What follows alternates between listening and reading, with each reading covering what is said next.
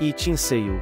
Batman, O Longo Dia das Bruxas edição definitiva é uma obra de arte escrita por Geloeb e ilustrada por Sale. Esta edição definitiva reúne todas as edições anteriores em um só volume. A história começa com o Batman investigando um caso de assassinato que ocorreu na noite de Halloween.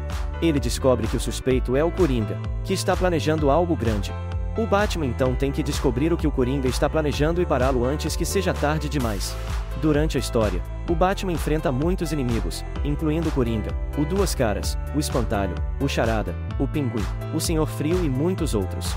O Batman também conta com a ajuda de seus aliados, como o Comissário Gordon, Alfred, Robin, Batgirl e outros. O que torna esta história tão interessante é a forma como os autores conseguem equilibrar ação, suspense, drama e humor. A narrativa é fluida, com diálogos bem escritos e personagens bem desenvolvidos. As ilustrações de Sale são incríveis e dão vida às cenas. Batman, O Longo Dia das Bruxas edição definitiva é uma obra de arte que não deve ser perdida.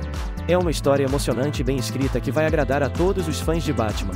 É uma leitura obrigatória para todos os fãs de quadrinhos e de histórias em quadrinhos. O grande aprendizado nesta leitura é que a força da união é mais poderosa do que qualquer bruxo ou demônio.